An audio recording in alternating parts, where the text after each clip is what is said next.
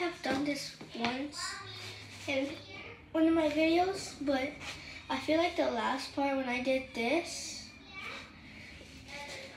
like I did this, like I, I like I, I it actually felt like something. I, I don't know if you I don't know if you thought I was like faking it, but like it actually like yeah wait.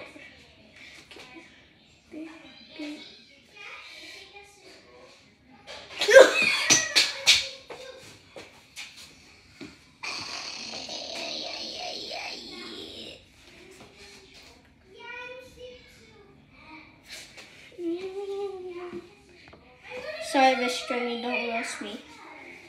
My favorite YouTuber is my favorite YouTube Shorts roasting person is uh, Vestrami.